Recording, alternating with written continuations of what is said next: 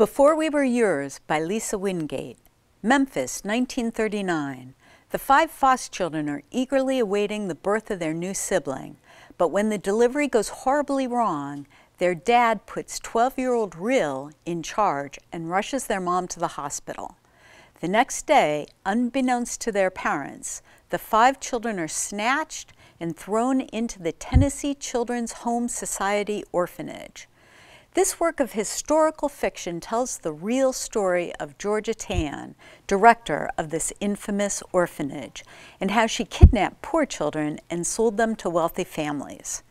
This book has sad parts, but is ultimately uplifting.